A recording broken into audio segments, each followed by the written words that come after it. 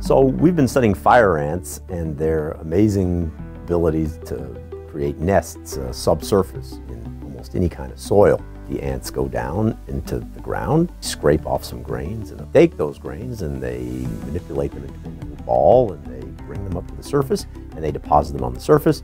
And this process repeats over and over and over. This ends up being a story about how to control traffic in a situation where there's no master traffic planner and each individual has limited knowledge about the situation of the other individuals in the group.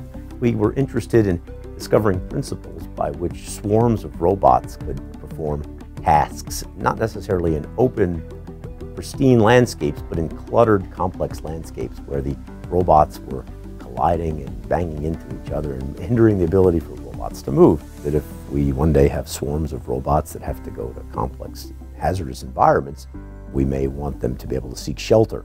And one way to seek shelter is to create excavations, create nests in the ground.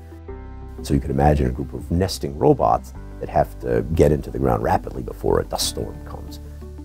We painted the abdomens of about 30 ants, uh, oil-based markers, and by monitoring video of the tunnel creation and which ants showed up to the tunnel, we found that in fact, about 30% of the ants in any group did about 70% of the work.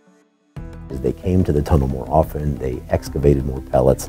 So out of 30 ants that we were able to track, maybe there were five ants that were accounting for the bulk of the, the excavation.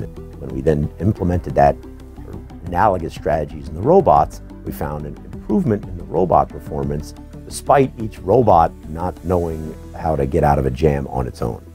The computer model is giving us evidence that the ants have discovered the optimal strategy for excavating in narrow, confined, tight environments.